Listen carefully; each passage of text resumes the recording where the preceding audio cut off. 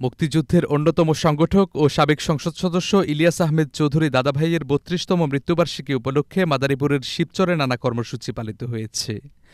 শুক্রবার সকালে শিবচরের দত্তপাড়ায় প্রখ্যাত এই রাজনীতিকের সমাধিতে শ্রদ্ধা নিবেদন করেন তার বড় ছেলে, সংসদের চিফ হুইপ নুরি আলম চৌধুরী এবং ছোট ছেলে ফরিদপুর চার আসনের সংসদ সদস্য মুজিবুর রহমান চৌধুরী নিক্সন সহ পরিবারের সদস্যরা।